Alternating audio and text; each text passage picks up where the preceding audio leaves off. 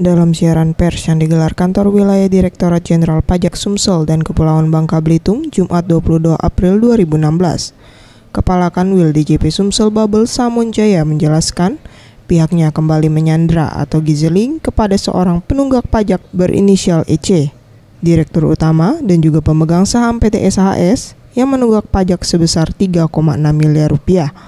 Samun menjelaskan, Sebelum dilakukan penyanderaan, DJP Sumsel Babel telah melakukan penagihan aktif dan persuasif secara terus-menerus sejak tahun 2013. Namun penunggak pajak belum juga melakukan pelunasan pajaknya. Dan akhirnya tindakan gizeling atau penyanderaan diambil pihaknya untuk memberikan efek jerah.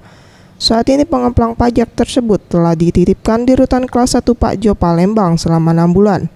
Sesuai Undang-Undang Nomor 19 Tahun 1997 tentang penagihan pajak dengan surat paksa atau PPSP dan telah diubah dengan Undang-Undang Nomor 19 Tahun 2000.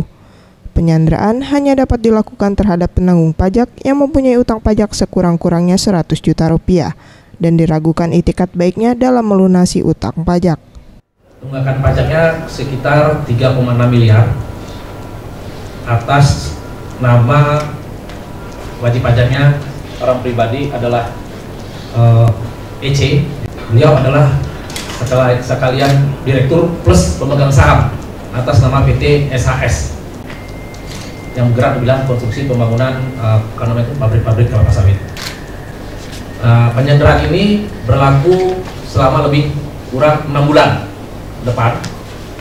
Dan apabila dalam waktu enam bulan itu hari ini atau paling lambat mungkin Senin beliau membayar itu bisa kita keluarkan karena intinya adalah bukan harus memasukkan atau menahan wajib pajak tapi intinya tujuan akhirnya dari apa yang kami lakukan di penagihan ini adalah wajib pajak melakukan pembayaran terhadap tunggakan Upaya penyanderaan dilakukan pada tanggal 21 April 2016 di kantor PT PSL di kawasan Kota Medan, Sumatera Utara terhadap EC selaku penanggung pajak PT SHS yang dilakukan oleh jurusita pajak KPP Pratama Seberang Ulu didampingi perwakilan Kanwil DJB Sumsel Babel dan Kawil DJB Sumatera Utara.